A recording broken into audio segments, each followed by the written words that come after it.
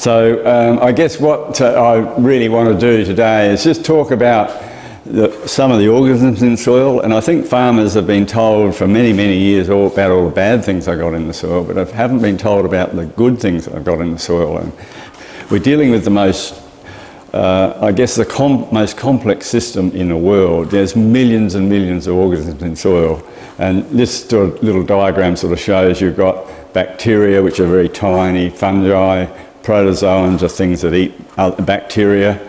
And if you just take a teaspoon of healthy soil, you'll have billions of bacterial cells. You'll have hundreds and hundreds of metres of fungal hyphae.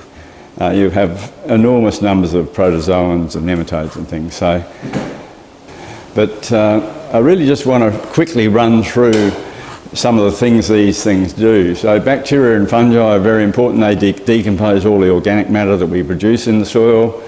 They hang on to nutrients. We've got major problems in Queensland with you know, nutrients going out, out to the reef, for example. Everyone, all the governments are worrying about that.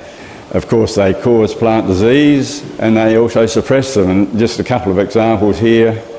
On this side, that, that's a bacteria, and you can see that you know, the, the, the phytophthora is growing, growing quite happily towards that bacteria. But this one here, that bacteria is producing an antibiotic that's stopping the, you know, the fungus from growing towards it. So in, in the soil, there's, know, there's a lot of organisms in the soil that are know, trying to defend their territory by doing something to stop you know, all their competitors, and antibiotic production is certainly one. Uh, this is an example of a, uh, a, fungus that's evolved the capacity to catch nematodes. Produces these traps, the nematodes walk, uh, wriggle through, get caught by that trap, and then the fungus invades and kills, kills them. So there's a lot of beneficial things in the soil as well as bad things most farmers probably think that the nematodes are all bad. They, they feed on the roots of the plants or get into your tubers, for example, and cause damage. But there's a lot of beneficial nematodes. You know, there are nematodes like this that have got a tooth that actually feed on other, other nematodes. That big nematode there you know, actually feeds on other nematodes. So it's a predator of the, some of the know, things that we're trying to control. That's a fungal feeding nematode. Those nematodes feed on fungi. Uh, they feed on good fungi and bad fungi. And then there's the plant parasites, the ones we're concerned about that have a spear that they use to put into their plant cells and suck out the contents. So, so I guess again, you know, it's a matter of uh, having a picture of the whole system rather than just the pest part of the system microarthropods, little tiny uh, organisms. Uh, most of them are only probably 250 microns, which is about 0.25 of a millimetre, three, uh, five, uh, half a millimetre long. They're very small, but they feed on all sorts of things in soil. They feed on fungi, they, they help to decay organic matter, and some of them feed on nematodes, for example. So, um, so they have a major role in regulating what's happening in the soil. Uh, and they, every time something eats something else in soil, there is mineralisation of nutrients, and I'll talk a bit about that a bit later. Earthworms are really nature's cultivators, and uh, they, they have a couple of important roles. They improve the aeration of the soil, you know, they create these macropores in the soil, so that when, when it rains, you know, there will be some drainage, help, drainage and aeration in the soil. They they take organic matter down the profile, you know, organic matter that's perhaps near the, in the surface on decaying vegetation, that is moved down through the profile by things like earthworm. So why, why are they important? What are their main roles? They help the physical properties in the soil. So um, we want soils that aggregate, you know, the soil particles aggregate together so that there's aeration and drainage. And things like fungi are very important in creating creating aggregation. They produce uh, chemicals that hold soil particles together. They actually help uh, soil particles bind together. And that, uh, then we've got things like earthworms making holes that create the drainage. So, so, so having a, a, a good biology means you'll have a good, good soil physical properties, which allows roots to grow relatively easily through the soil. The second thing is plant nutrition. I've already mentioned the fact we've got bacteria like rhizobia that produce nitrogen. Um, but they also hang on to nutrients and, mineral, and mineralised nutrients. Bacteria in the soil have a carbon nitrogen ratio of about 4 to 1, and the nematodes that eat them have a carbon nitrogen ratio of about 6 to 1. So what happens is this, um, this nematode down here has eaten three bacteria. So it's got four carbons from that bacteria, four carbons from that bacteria, and four carbons from this bacteria. But it's also got one nitrogen from each of those. So it's basically got all its carbon and nitrogen it needs. So there's an extra nitrogen left over.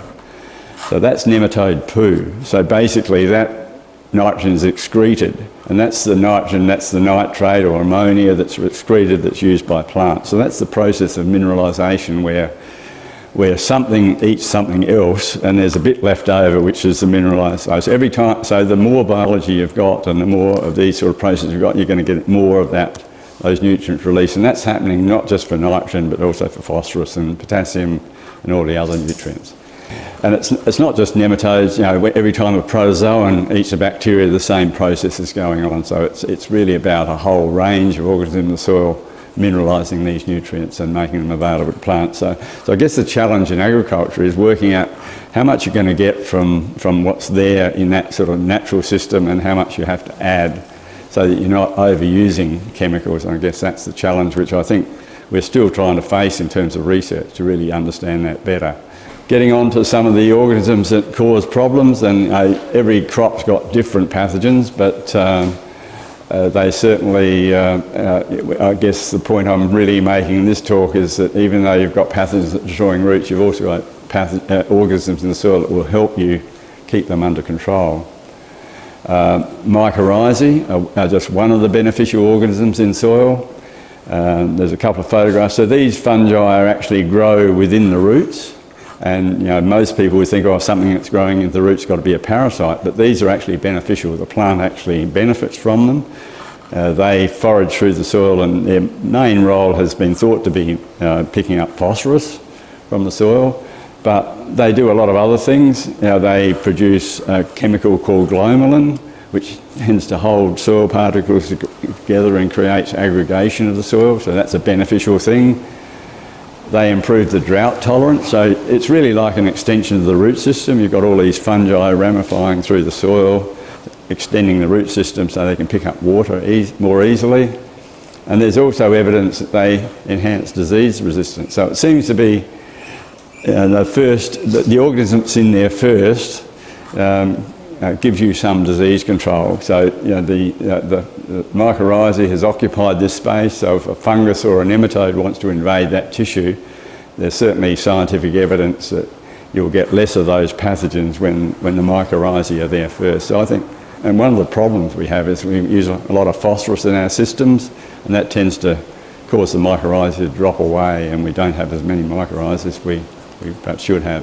Tillage, tillage knocks fungi around because they've got all these hyphae ramifying through the soil. It doesn't matter whether it's mycorrhizae or anything else. And so tillage is certainly, I think one of the reasons, and I'll show some data later, one of the reasons that agricultural soils have become bacterially dominated because of all the tillage that we do. And so if you can stop tillage and you've got organic matter there, it's fungi that are really going to break down that, most of that organic matter.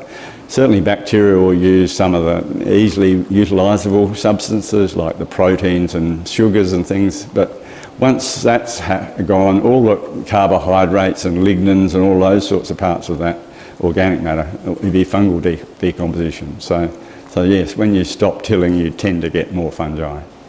So really, I'm just really wanting to sort of finish by saying that you know soil biology has a lot of important roles. It improves soil structure, does a lot to the soil physical side of things. It, there's a whole lot of nutritional things that it's involved in. You know, it, you get diseases from some of the biology, but you also get protection from the biology. And of course, there's a whole lot of degradation things whenever we, you know, we use a pesticide or a pollutant or something in the soil. these bugs in the soil will grab hold of it and decompose it. So, so they have a, have a lot of important roles.